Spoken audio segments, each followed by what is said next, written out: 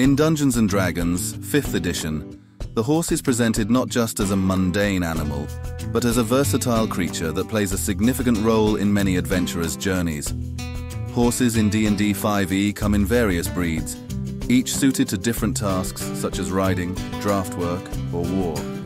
These noble animals are valued for their speed, endurance, and ability to carry adventurers and their gear over long distances, making them indispensable allies in exploration and combat scenarios. Riding horses are known for their agility and speed, allowing players to traverse the game's vast landscapes more swiftly. Draft horses, on the other hand, are stronger and more suited to pulling wagons or carrying heavy loads. War horses are specially trained for combat, capable of executing complex maneuvers and even fighting alongside their riders.